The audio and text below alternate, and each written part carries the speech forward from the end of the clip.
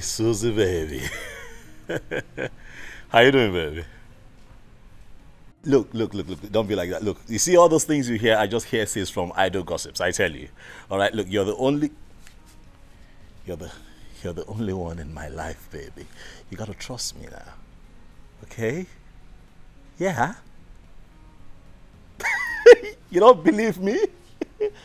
Okay, fine, I'm home. You, you- you wanna come come around? I, I'm home. I'm, I'm waiting for you. Huh? Okay, cool. See you then.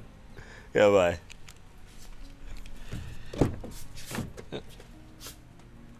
Oh, sorry, sorry. Kemi. Kemi. Of course, I can hear you. What you remember? Oh, so you remember me today, huh? What are you talking about? You abandoned me. huh? What? What? Some girl? Oh no! Look, look, look! Listen. You see that girl you saw? That it was just my assistant. That's a personal assistant. Why are you being insecure, now, eh?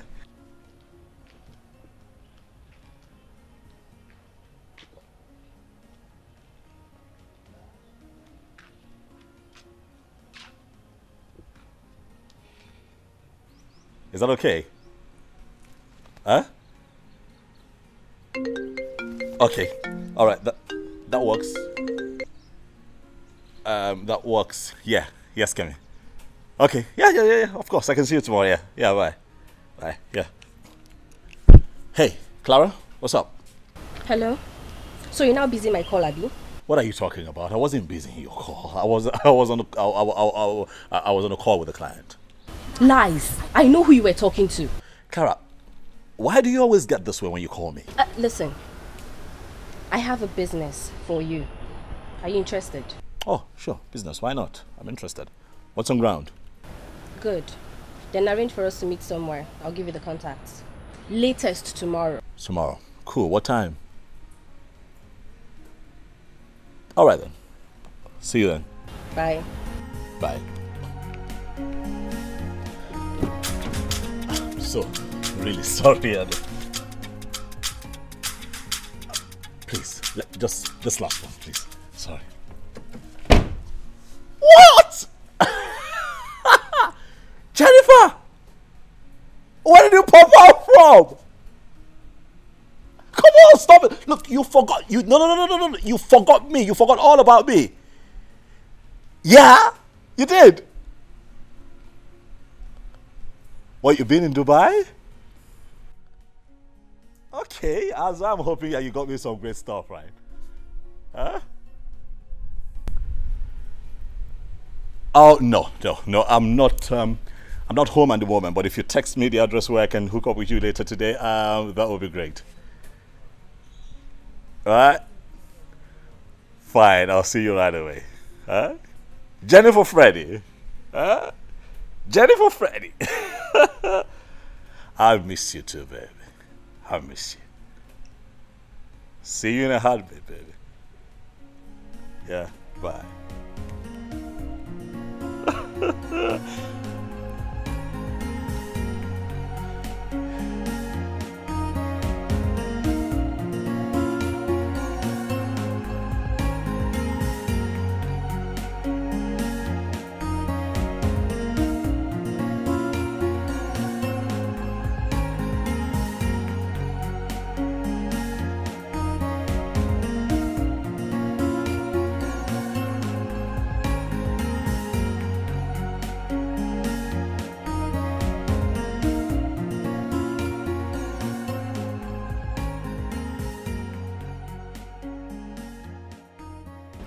Hey, look, I'm, I'm sorry. I'm really sorry for barging in on you this way. I know it's not proper.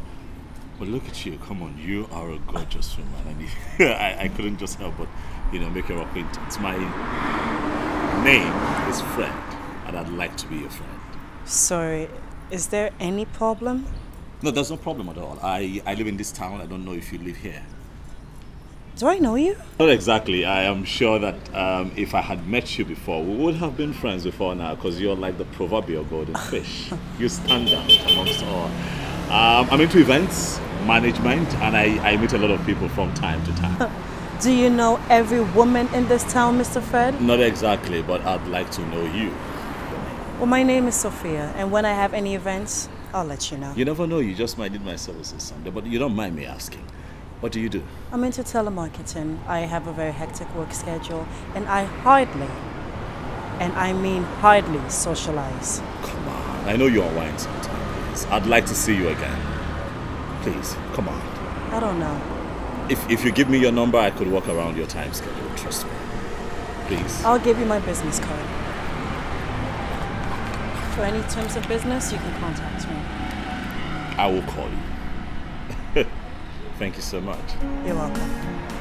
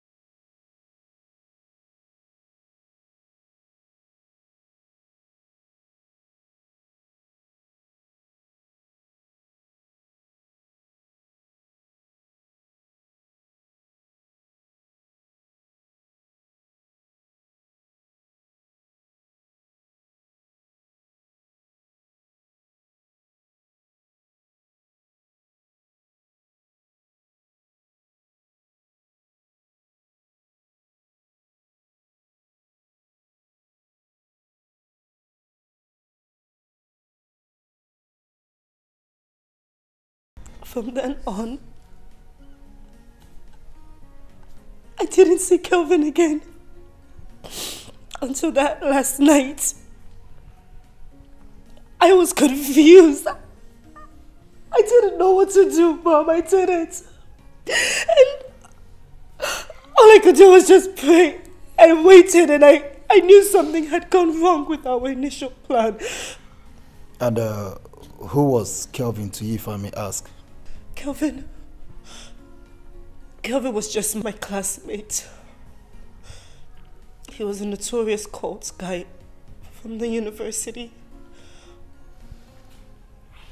I ran into him some time ago and we exchanged numbers. And when this idea came to my mind, I contacted him. That was it. Nothing more. Nothing more. Please, I'm sorry. Fred, you know I love you and I would never do anything to hurt you. It wasn't supposed to turn out like this. I'm sorry. Please. You know you're wicked? Do you know you're wicked? Don't say that. How could you?